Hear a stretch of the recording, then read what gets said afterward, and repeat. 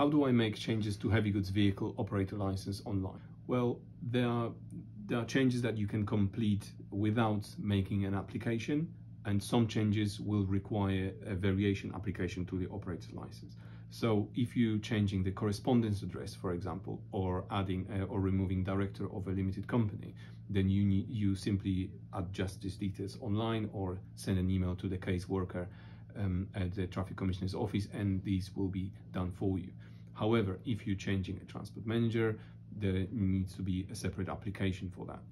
If you are changing operating centers, if you're adding more vehicles, if you're adding more trailers to the license, if you are, uh, if you have any uh, conditions attached to the operator license and you want to remove them, all of those require a separate require a separate application that needs to be completed and you need to process that. We at Fleet Planner Compliance have handled many uh, variation applications in the past and uh, we would be very happy to assist uh, if you need any help, even if it's just a simple questions that you have, please feel free to give us a call and we will be pleased to help.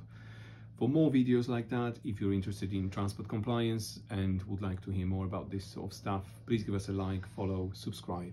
My name is Roman. This is a Fleet Planner Compliance video.